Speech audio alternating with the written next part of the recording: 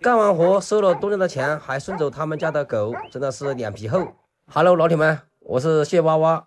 今天我们出来干一点活，平个场地，然后办一点混凝土。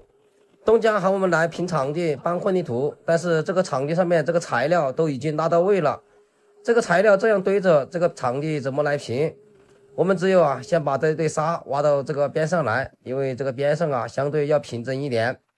老铁们，快看前面！我一来我就发现了前面有一只金毛，这只金毛狗是小东家几年前从外地带回来的，听他说当时带回来的时候壮得很。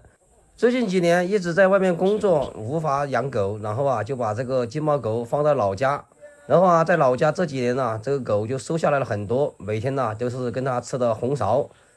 然后这个小东家看着我在这里爱不释手的，就说这个狗你喜欢的话，到时候干完活你把它带回家，说每天把它拴在这里，每天吃红苕，看着怪可怜的。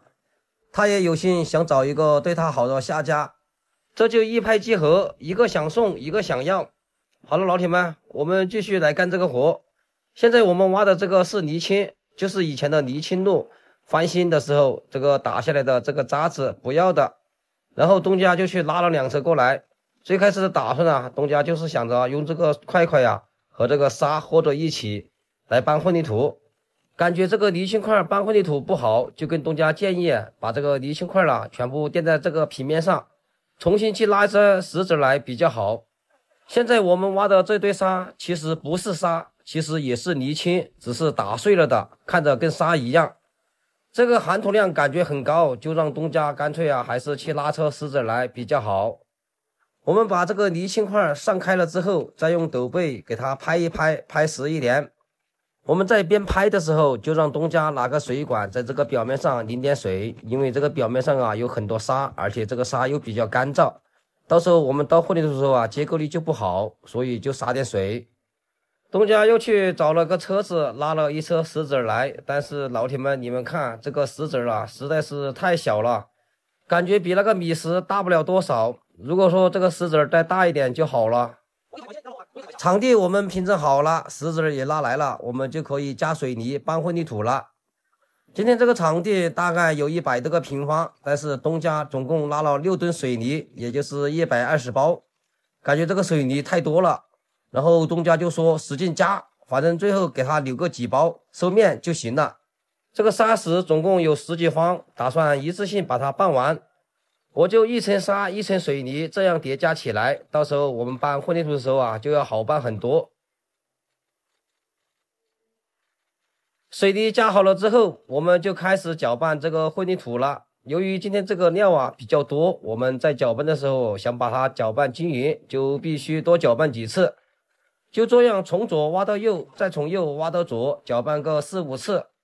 当这个水泥和沙石均匀的搅拌一起，就差不多了。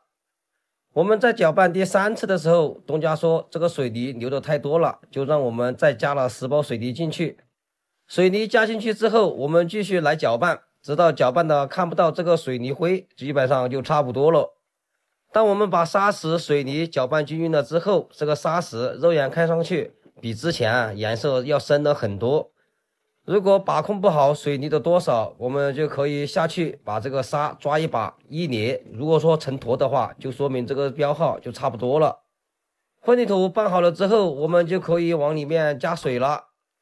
东家的这个水管有点小，虽然说搞了两个大桶在这里接水，但是我们这么大一堆料，感觉它这个小管子啊跟不上，我们只有边拌边等了。东家的这个屋后面也要倒混凝土，我们把混凝土拌好了之后，东家找了一个推车，然后人工一斗一斗的给它推进去。里面的混凝土倒好了之后，这个口子上我们挖机就可以直接挖到位了，就不需要斗车了。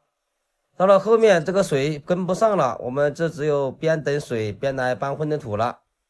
一转眼的功夫，我们就把所有的混凝土搬好了，然后再大概的给它收平。收平了之后，后面的就交给工人来收面了。然后我们把挖机上到拖车上，东家把这个金毛也牵过来了。这个金毛狗虽然我同意带回家了，但是还没有跟家里面的人说，不知道他们会不会同意。每天一个起步价，生活多姿又多彩。Hello，兄弟们，今天我们又来干一个起步价的活。上个视频我们刚把这个场地拼完，这才过去三四天，东家又给我打电话，问我的挖机有没有空，把挖机拖过来，他这个活还需要改进一下。当时我接到电话，二话不说就拖着挖机开过来了。因为最近一段时间啊，活不是很多，就盼望着每天来个起步价。我是盼星星盼月亮，总算是盼到一个电话进来，但是我没有想到，居然是这个东家又跟我打电话来。上个视频我们把这个路面给东家下降了二十公分左右，这两天呢，东家把边上的这个宝坎打好了，然后呢，看了一下，感觉啊，这个地疤和这个路始终是哎不顺眼。这条路之前虽然我们下降了二十公分，但是呢。这个路啊，还是比边上的这个地疤还高了一些。然后这两天东家东看西看，始终感觉这个高的位置影响整个平面啊，感觉不好看。再加上周围的一些邻居这样跟着一掺和，最后东家决定把我们挖机喊过来，把这个位置又全部降下去，和边上的这个地疤啊全部降平。我们来了之后，先把表面上能挖洞的再挖一挖，挖了之后就直接放破碎锤。把这一块呢全部给它打下去。这个地方我们和边上的地疤打平了之后，这个地坪整个面积确实是变大了很多。但是啊，这里就有一个缺陷，就是这条路。这样的话，这条路就会比之前呢更陡了一些。肯定有老铁说，把这个路的斜面往前面多打一点，这个路就不陡了。老铁们，你们注意看一下。这个路的边上有一个天然气标识，这个天然气管道啊是从这个主路下面穿过去的，所以前面那一段呢我们就不敢打了。我们把这个石头全部打完了之后，就把挖斗放过来，然后把这些渣子全部堆到这里。这个渣子啊，东家还有用。东家房子的另外一边啊，还有几个很大的坑。东家就让我们把这个渣子全部堆到这里，然后找人工用脚斗车从这个房子的阳沟一斗车一斗车转过去。边上的这个宝坎，东家让我们也挖点泥巴，把这个宝坎啊先回填起来。这个渣子可能有点多，东家让我们在这上面呢多堆一点。如果那边还差的话，到时候他自己到这里来拉。多的渣子我们基本上清得差不多了，我们就开始来收这个平面了。上个视频呢，收这个平面我们是晚上收的，反正整体来说啊还是可以，比较平。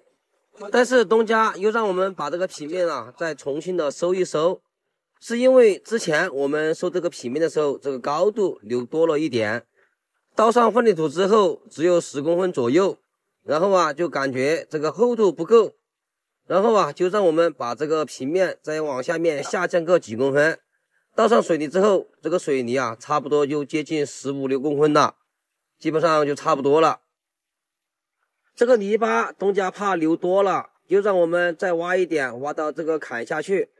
现在他们工人拿着洋锹，拉着斗车，一斗车一斗车的从这个阳沟后面运过去填那边的那个坑。整个平面拼完了之后，我们还是老规矩，用这个履带来回的在这个平面压一压。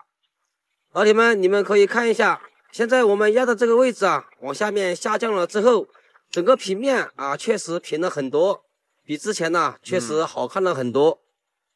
由于我们这个挖机安装了胶垫子，在压这个平面的时候，这个平面上面就压了很多印子出来。东家说这个问题不是很大。反正他们明后天就开始硬化这个平面了。